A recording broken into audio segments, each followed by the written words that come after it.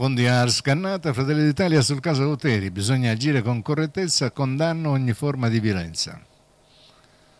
Un eh, politico deve sempre essere al di sopra di ogni sospetto e ha il dovere di agire con trasparenza spiegando ogni questione che lo riguarda sul piano pubblico. Per questo motivo è apprezzata la decisione di Carla Uteri di autosospendersi dal partito dal gruppo di Fratelli d'Italia con l'auspicio che riesca a dimostrare la sua estranità alle inchieste e alle accuse mediatiche che lo hanno coinvolto in questi giorni. Lo dichiara Luca Cannata, vicepresidente della Commissione Bilancio alla Camera per Fratelli d'Italia, che esprime piena solidarietà al parlamentare regionale Ismaele Lavardera, come già fatto dal presidente dell'ARS Gaetano Calvagno e dal capogruppo Giorgio Assenza.